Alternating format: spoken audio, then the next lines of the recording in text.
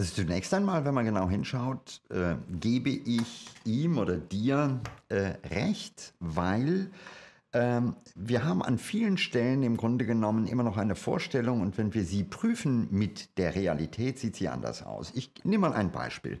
Wir sind alle sehr stolz auf die europäischen Werte, weil wir das Gefühl haben, diese Werte stehen ein für soziale Gerechtigkeit, für eine gewisse Gleichheit, für Freiheit.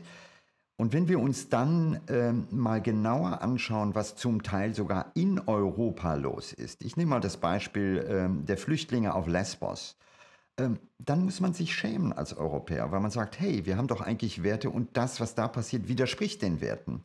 Es geht aber weit darüber hinaus. Es ist so, dass wir als Europäer für bestimmte Werte eintreten und oft dabei einen blinden Fleck haben, wenn es darum geht, diese Werte auch global zu leben. Also konkretes Beispiel, du kannst in Europa so ein T-Shirt kaufen, aber wenn man sich genauer anschaut, wie ist dieses T-Shirt hergestellt worden? Was ist der ökologische Fußabdruck? Was sind die Sozialbedingungen? Wie toxisch sind die Farben und wo und wie wurden die womöglich äh, entsorgt?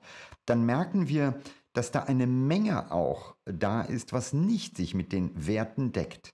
Äh, und ich glaube, es ist so langsam an der Zeit, dass wir genau hinschauen, dass wir nicht hier so tun, als hätten wir ganz tolle Werte, und ein Teil unseres Wohlstandes beruht aber darauf, dass in anderen Ländern Ökonomien funktionieren, bei denen genau diese Werte, die wir so wichtig empfinden, fast mit, mit Füßen getreten werden, sondern da geht es darum, auch dieses Stück Wahrhaftigkeit reinzusetzen, denn die europäischen Werte kann man immer so oder so lesen. Also wenn man sich geschichtlich mal die Kolonien anschaut, dann weiß ich nicht, ob die europäischen Werte so toll waren aus der Perspektive Lateinamerikas oder Indiens, weil da waren die Europäer zuerst einmal die Kolonialisten für viele Jahrzehnte.